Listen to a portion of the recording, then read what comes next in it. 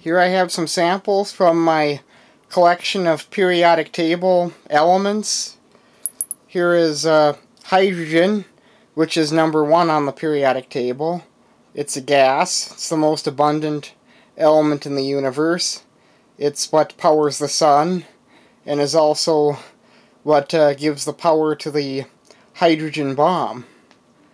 The next most abundant element in the universe is uh, helium, which is also a gas, and also found in the sun. It was, uh, in fact, uh, discovered in the spectra of the sun. Uh, in fact, its name derives from Helios, which uh, means sun. Uh, over here we have some copper, which is a very beautiful colored metal, one of the few colored metals. It's used to make uh, electrical wires and uh, plumbing pipes. Those are the main uses of it. It's also used in coinage. Uh, here we have uh, calcium, which is number 20 on the periodic table. Most people think of calcium as being a white powder or being like bones and teeth and stuff. But in fact, calcium is actually a metal. It's what's known as a alkaline earth metal. Um, and it's uh, actually a metal. The white powder is, in fact, uh, most often um, calcium carbonate. This is strontium, uh, which has to be stored under oil to prevent it from oxidizing. It's also an alkaline earth metal. Uh, if I remember correctly, strontium is what is used to create the red color in fireworks, if I remember correctly. Uh, this is iodine, which is used to, to make iodine uh, tincture. Iodine tincture is uh, really only 1 or 2% iodine. Uh, this is boron, pure boron, which is actually very hard. It'll scratch glass. Uh, here is europium, which is a rare earth element. It's got a really cool and interesting name, I think. This is uh, hafnium, another element with an interesting name. Over here I have uh, some cadmium. Cadmium is used in nickel-cadmium batteries, which uh, are rechargeable batteries, but they've largely been superseded by nickel metal hydride and by uh, lithium ion batteries. This is uh, mercury, which uh, is uh, liquid at room temperature. Until recent years, mercury was used commonly in uh, thermometers and barometers and such, but uh, it has largely been phased out due to the fact that it is quite toxic. Here we have uh, silicon. In fact, making this video would not be possible without this uh, element. Uh, this is crystalline silicon, number 14 on the periodic table. It's used to make uh, all kinds of uh, computer chips. Here we have carbon, which is number 6 on the periodic table, right above silicon. Carbon is the basis of life. Um, and it comes in lots of different forms. This uh, happens to be a rod made out of graphite, which is one of the forms of carbon.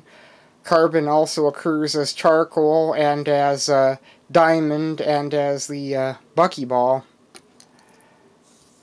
Um, here is uh, magnesium. Magnesium is, is a metal that is uh, flammable, especially when it's finely divided. Magnesium burns very, very hot. It's uh, used in some uh, incendiary weapons. Magnesium is also a lightweight metal, so it is used in applications where light weight is uh, needed.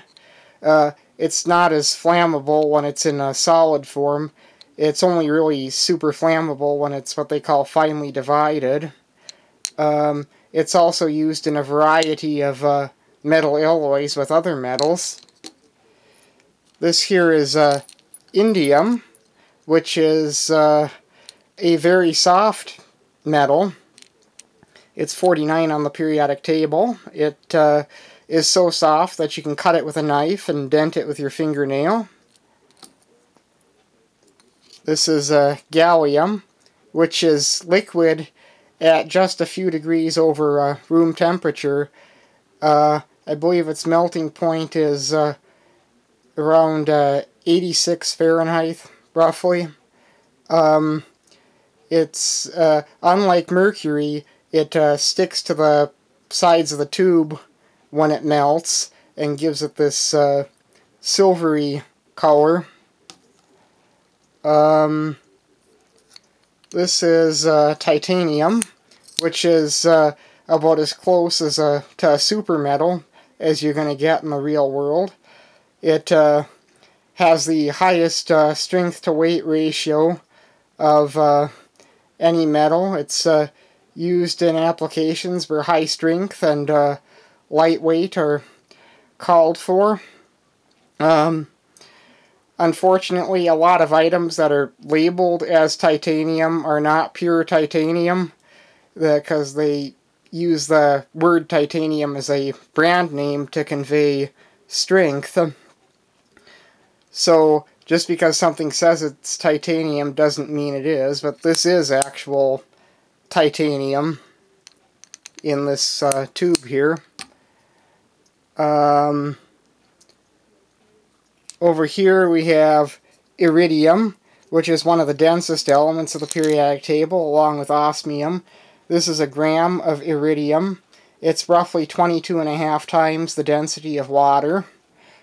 And for comparison, this is beryllium over here, which is one of the, it's not the least dense uh, metal, but it's one of the less dense ones. Uh, uh, beryllium is also very hard, and uh, it is used in applications where lightweight is called for, uh, uh, like in the aerospace industry. it is also toxic when it is ground or filed and the dust is very toxic, so you don't want to grind or file it without uh, uh, proper uh, precautions. Um, over here is uh, niobium. Niobium is used uh, frequently in body piercing jewelry due to the fact that it is a hypoallergenic uh, metal. This is a tantalum. Now, if I remember correctly, I believe tantalum is used in a certain kind of uh, electrical capacitor. And over here is uh, tungsten, which is also quite dense. Uh, tungsten is used in uh, incandescent light bulb filaments, and in the form of uh, tungsten carbide, it's used to make uh, cutting tools because of its hardness. This here is uh, bismuth. Now bismuth is normally thought of as the uh, last stable element of the periodic table. It's number uh, 83. But in fact, bismuth is actually very slightly radioactive. However, its half-life is orders of magnitude greater than the age of the universe, so uh, the radioactivity is very, very slight. This is aluminum, which is a very common metal nowadays. It's used to make all kinds of stuff because it's lightweight and corrosion resistant. Um, but at one point, aluminum was actually more expensive than gold because of the difficulty in extracting it before uh, uh, large power plants and uh, widespread uh, use of electricity. This here is uh, a very toxic element. This is arsenic.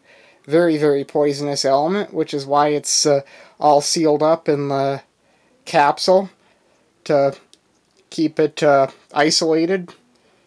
Um, this is scandium, which is a metal.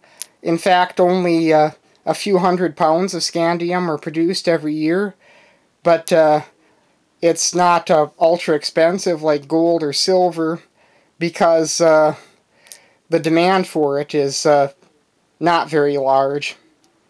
So the price doesn't go sky high. And this is uh, germanium, which is a metalloid just like uh, silicon, which means it shares properties of both metals and nonmetals. Here we have a piece of pure chromium. Now normally you see chromium in the form of uh, chrome plating, which is used for its uh, appearance and its corrosion resistance. This is a chunk of uh, pure chromium metal. Um, and uh, that's uh, some of my uh, element collection. Now I have more samples than this, but uh, I don't really have time to show them all in one video, so that's a little taste of my element collection.